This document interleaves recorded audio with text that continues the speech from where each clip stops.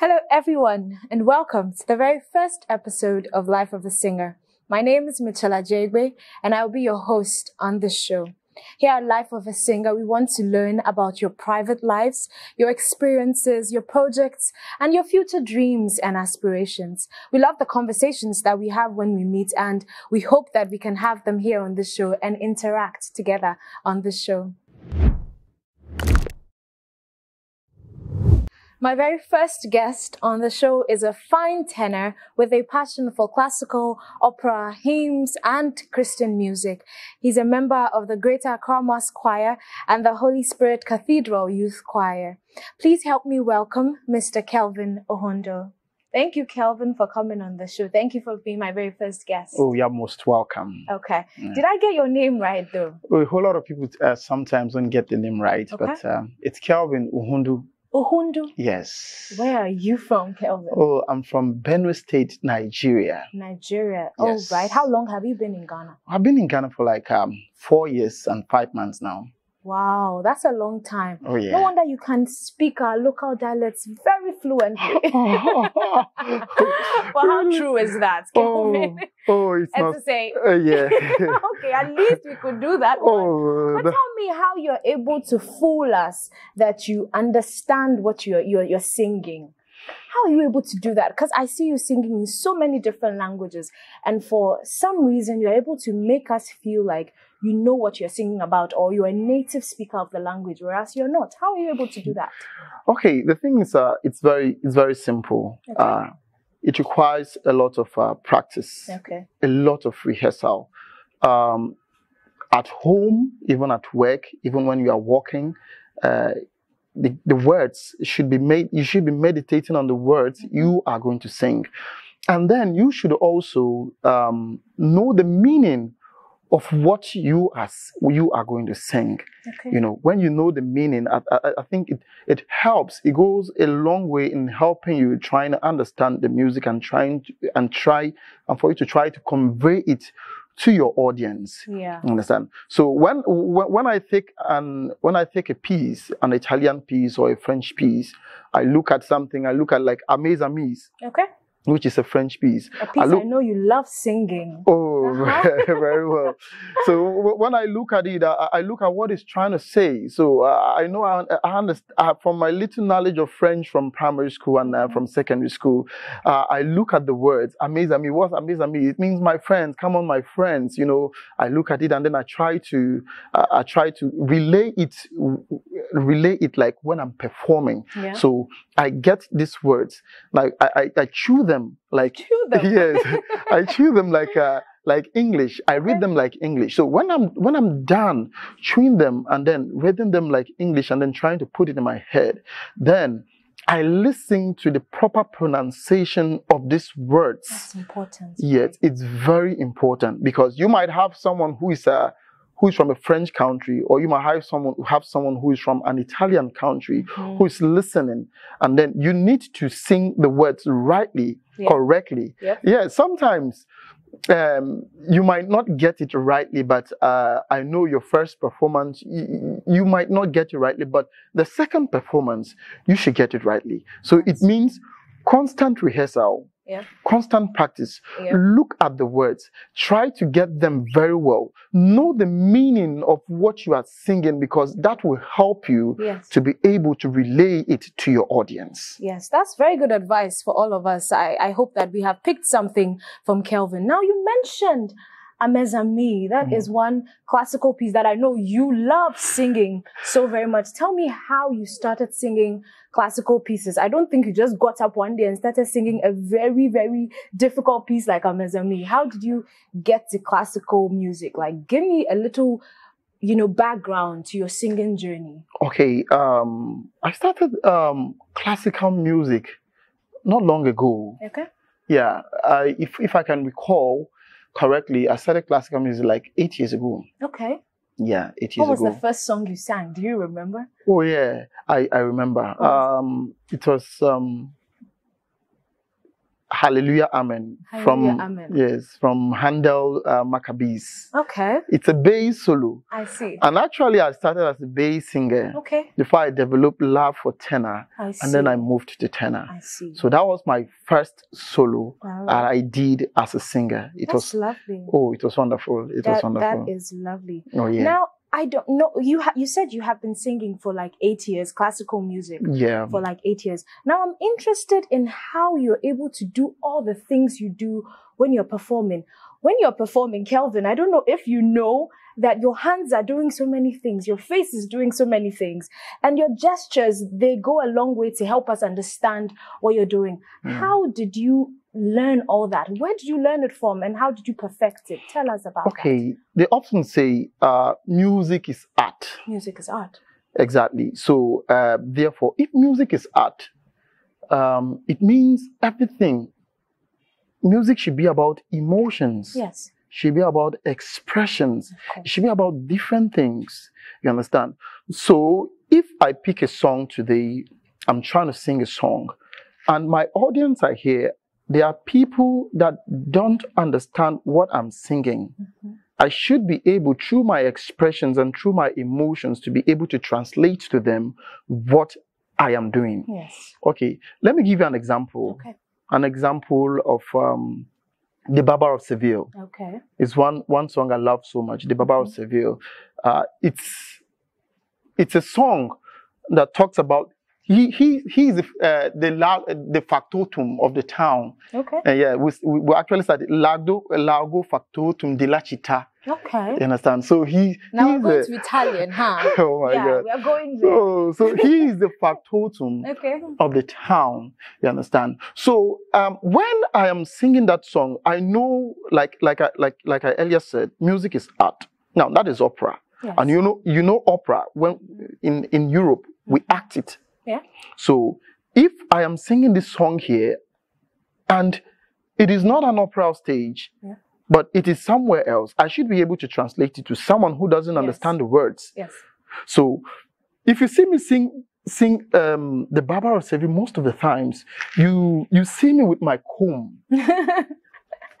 Baba, now, yeah, so it get it gets at a certain point in time, I bring out my comb. Yep. Then I try combing my uh, combing my hair. Mhm. Now, someone someone will literally understand that this guy is trying to talk about his hair or trying to do this thing. So if I if if I have a scissors, I have a comb. So I'm trying to comb my hair. I'm trying to do something. So the audience, they are able to understand that this guy is talking about something about his hair. Exactly. You understand? So Mhm. I am able to translate to them Yes. that what I am talking about is my hair.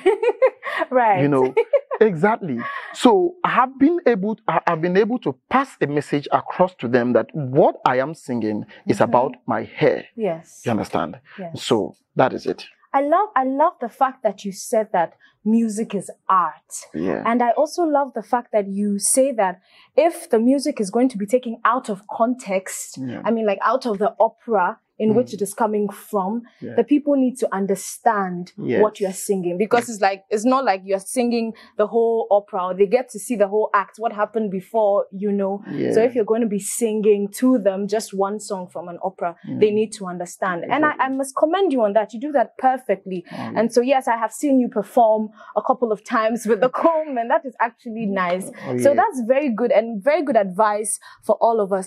So for you at home who may not have seen Kelvin perform before, you get to catch a glimpse of him performing here on this show. So please do well to stay with us till the end of this video and watch Kelvin singing one of his favorite arias. Now we'll be right back after this short break. Thank you so much for sticking with us. This is Life of a Singer, and we have been talking to Mr. Kelvin Uhundo. Uhundo or Uhundu? Uhundu, Uhundu. Uhundu. Right, Uhundu. Yeah. Okay. And he's been giving us some very great advice on how to be better performers like himself. So thank you so much for coming on the show. You're welcome again. Okay, now let's continue our conversation. Now, last year saw you starting your own program, your own show. Yeah. You were celebrating a particular classical composer. Can you tell me about that? Yeah, Giacomo uh, Rossini. Rossini. Yes. Um, we're, we're celebrating his works. Okay. I actually love this composer uh, because of uh, his works, uh, the things he composed. And I actually love him for the fact that he loved tenor singers. He did? oh, yeah. I was going to ask you why you chose Rossini. You know, there's so many other composers. Why Rossini? So now I Oh. know he loved tenors, huh? Oh, yeah. Oh, I see. I, I, I, I don't I don't know, but from my own view and from my own point of view, Okay. I feel he loved tenor singers Why? because uh, most of the pieces uh, he composed, Were for tenors?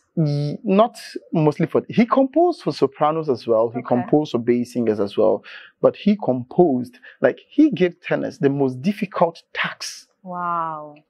Very difficult task. Now, when you when when you look at some of his composition, the high notes, the running notes, and a whole lot of stuff, Okay. you know. And I felt like, oh, if if if if this is uh, the, the the thing, this is the thing, then I need to go for it. Wow. Rossini, like it, it- it's something difficult, right? So I need to do something by this guy. You love a challenge, isn't Exactly, it? Yeah. because one of the very first song I I heard Mhm. that was composed by Rossini, uh, the, the Barber of Seville, Yes. Largo al Factotum della Città. I Wow. I listened to that song and I said, oh, I was going to learn it, I was going to learn it. Uh-huh. So uh, at a point in time, I, I lost interest in, in learning it. And then uh, at a point in time again, I revived interest in it. And then Wow. it took me like, it took me seven months to learn that song. Wow. That's a long time. Okay, yeah, there's some very, very fast words in the song. So yeah, that makes sense. I get Oh, you. oh my God, oh my God. Yes, but this but this program you had, you called it Kelvin and Friends. Yeah. And you did it with a group of your friends. Okay. How did you choose your friends and how did you assign songs to each of them? How how did the whole program go? Okay. Um, I chose I chose my friends based on what I knew they could do Okay. and what I knew they could deliver. Okay. If you want me to call their names, fine, I can call their names because You better uh, call me first. You're my show. You're my show. exactly. So I, I, I there, there is a piece, uh, a piece you did, um, uh, Quis est Homo, Oh. the one you did with Franklin. Now I feel you're doing this because I say you're my show. Don't worry, I can't kick you out. Oh. Yeah, but I, I can't So, kick you out. When, when, I, when I listened to that song, Mhm. immediately I listened to that song, I heard Mitchelle's voice, Aww. and then I heard Franklin's voice, Okay. Okay. and then I said, "This is not going far. hmm Mitchelle and Franklin are going to do it, All right. and I'm going Alright. to draw them into this program." All right. Now I'm blushing. Can you tell? Exactly. And you could you could realize that on the day of the program itself, hmm it was in the Catholic Church. Okay. Now, I, I- I think a girl was outside and she said she was in the grotto, at the grotto, uh, this, where the statue of Mary is, uh, Yes. Mary, our mother of God. She was there, and when she when you started the Quis est Homo with Franklin, and as you were singing along, she felt like angels were descending Aww. from heaven. Oh, that is lovely. That is yeah. lovely. So you see, looking at you, then I, I I looked at Desiree as well. I looked at Samson as well. I looked at Alberta as well. Wow. I looked at Eben as well. I looked at uh, Calvin as well. I, I I looked at all your voice ranges, and I, I I pictured that these were the perfect singers for a Rossini night. Oh, And I say, oh yeah, this is Kelvin and friends Wow. who are going to do this project. Now I am And so did it. pleased you chose me. Thank you so much. And shout out to all our friends out there, Kelvin's friends and mine. Shout out to you all for making that night such a wonderful one. Now I want to know if you would have such again and with the same group of people, or are you going to be getting recruiting new people to join you, or will we see that again? Okay, so actually this year um, we are going to do um, we are going to celebrate another composer as well. Okay. Um, he's a French composer, Okay. uh, Georges Bizet. Okay. Yeah, so it's going to be a Bizet night, Okay. and we are praying that uh, we are able to get the support Yeah. that we need to be able to put this program together. Yes. Because you know a whole lot of activities have been um, have been dampened by the the pandemic. Yeah. And so when when you go out to meet people for sponsorship, um, they give you um, problems that uh, our businesses Yes. are going down and stuff like this. So we are hoping and we are praying that we'll be able to get uh, sponsorship to be able to have this program. Yeah. Yes. And we are also, we are going to maintain the same caliber of people that did uh, a Rossini Night last year, Mhm. except that uh, Eben has traveled to the UK and Oh. um, Desiree too will not be part of it because he has um, he has gone back to his country to do some one or two things. So we'll be drafting in one or two persons to replace them Okay. for the show this year. Okay. Yeah. So I get that the aim of Kelvin and Friends is to celebrate composers. right? Yes, to celebrate composers and to be able to help all of us to to project ourselves, our God-given talent, right. you know, because I see that uh, sometimes you don't have to wait for opportunities. Yes. You create them yourself. right. So I am creating this opportunity for all of us to come and showcase our talent. Wonderful. You understand? So that it shouldn't be, it shouldn't necessarily be that somebody must, must have to organize something and then invite you and say, Mitchelle, come and sing. Mitchelle, come and sing. Let's do something together.